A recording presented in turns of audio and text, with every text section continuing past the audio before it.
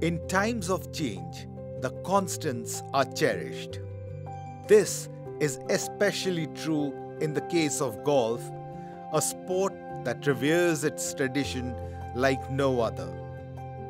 With the game's top players spread across the globe, rarely competing in the same event together, fans almost never have a chance to watch the finest vie for the same prize. And rarely do they get a chance to celebrate the stars of today and the luminaries of yesterday, except for one week in early spring in Augusta, Georgia.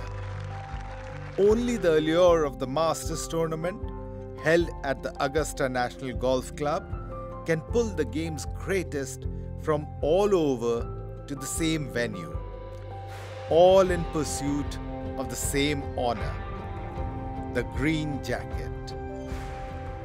Only this week can we watch top players like Rory McIlroy, Brooks Koepka, and Sahith Theegala compete alongside returning champions like Jon Rahm, Scottie Scheffler, and Dustin Johnson. And legends like Tiger Woods, Phil Mickelson, and Vijay Singh.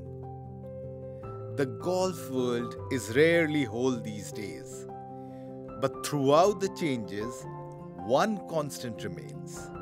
One tradition that is so revered, it can close the circle, if only for a week.